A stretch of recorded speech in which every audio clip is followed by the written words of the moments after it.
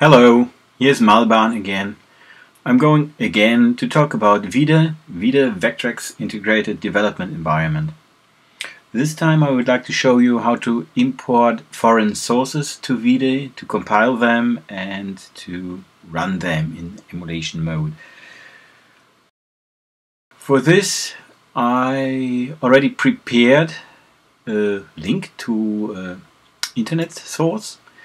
Here we find for example Vecibird.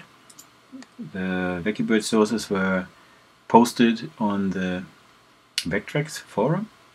You can download them from Dropbox, from a Dropbox account. This is what I'm going to do now.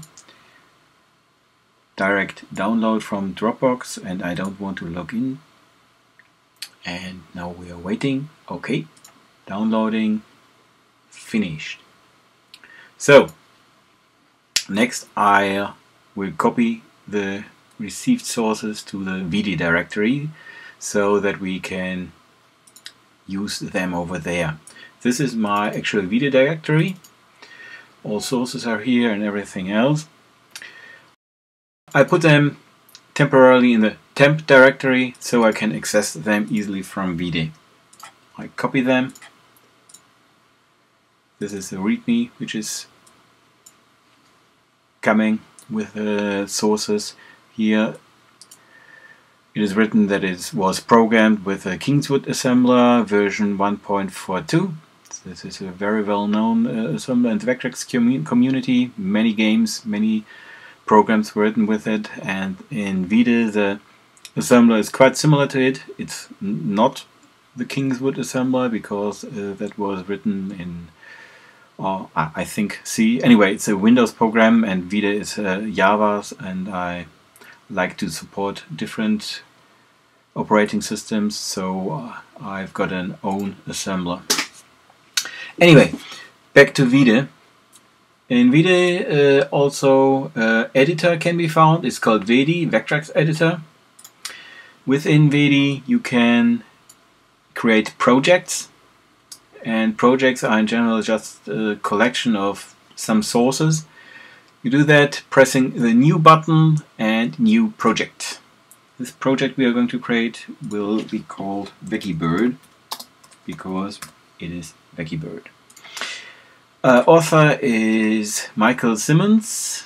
I usually put all my projects in the projects subdirectory descriptions you can give anything there. Nice little game.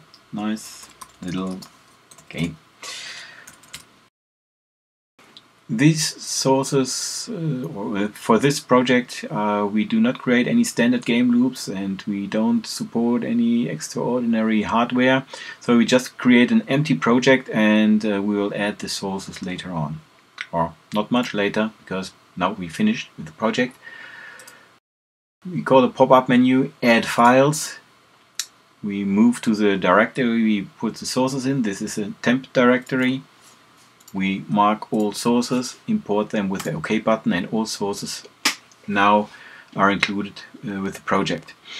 So the project does not have a main file. Each project in uh, VIDE must have a main file with Vecibird, it's the vecibird.asm. Right mouse click, set as main, and we will try to compile it right away. So this is the almighty compile button.